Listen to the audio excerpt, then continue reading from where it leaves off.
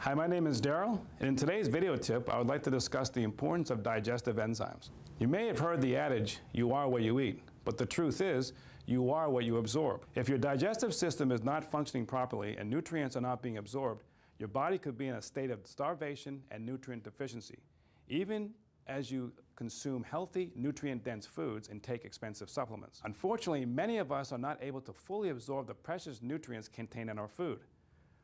And one of the primary reasons for this is low stomach acid. Fortunately, this is a condition that's easy to remedy in most cases. Low stomach acid is an overlooked cause of disease and deficiency. Hypochlorhydria, or low stomach acid, is linked to a wide variety of common digestive symptoms, including bloating, constipation, gas, nausea, heartburn, and acid reflux. It's also correlated with the gastrointestinal diseases, including IBS and Crohn's. But inadequate stomach acid doesn't just affect the GI tract. It can also cause a wide range of systemic effects, including acne, vertical ridging on the nails, foot and leg cramps due to malabsorption of minerals, leaky gut syndrome, food allergies, intolerances, asthma, autoimmune diseases and chronic fatigue, low bone mineral density and osteoporosis, increased risk for cancer and cognitive decline. You might think of stomach acid or HCl simply as the acidic soup that helps to break down food. However, its role goes much deeper than that. Stomach acid is also needed to liberate and absorb key nutrients.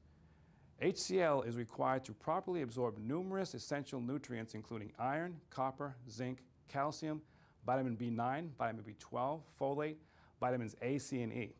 These nutrients have a wide range of disease-preventing and health-promoting effects. You want to help guard against pathogens and promote healthy gut flora with HCl. Foodborne bacteria and pathogens are typically killed by HCl.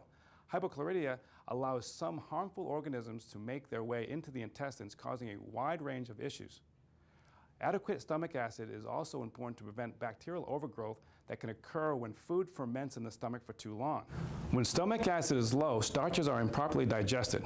These starch fragments can create microscopic holes in the cells that line the intestines, otherwise known as leaky gut.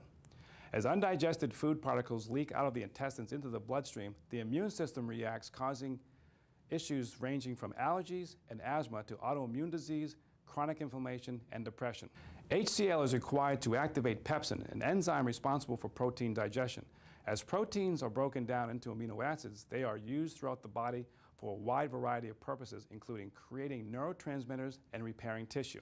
Without adequate HCl, mood disorders and depression can develop, and slow healing or poor recovery from exercise can recur.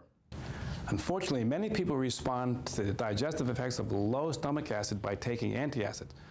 What's worse, doctors often misdiagnose hypochlorhydria, low HCl, as hyperchlorhydria, high HCl, and prescribe medications such as Nexium, Prilosec, Prevacid, Pepcid, Zantac that further lower HCl levels, making the problem even worse. In addition to antacids and other medications, low stomach acid can be caused by 1. Age.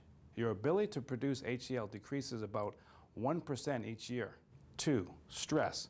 High levels of stress and stress hormones like cortisol can reduce the stomach's ability to produce HCl. And three, chemicals.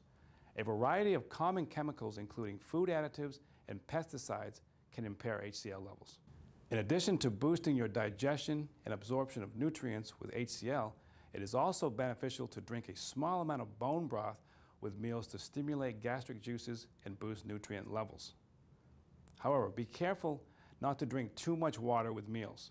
Too much liquid during a meal dilutes HCl and digestive enzyme. Finally, be sure to eat slowly and chew your food well to reduce the stomach's burden. If you have any questions about today's video blog, you can send me an email. You can find my email on my website at www.darylconant.com. I want to thank you very much for watching. Take care. See you next time.